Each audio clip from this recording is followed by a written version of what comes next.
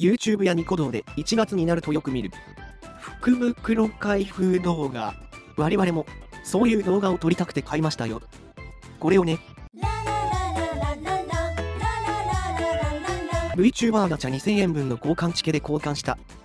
だけですけどもね紙袋的にうさぎたし去年かもしれない。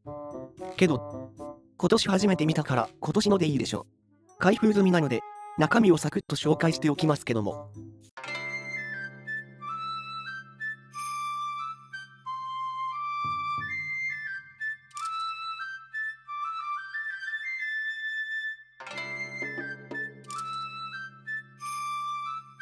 これほぼほぼホロライブ福袋じゃ。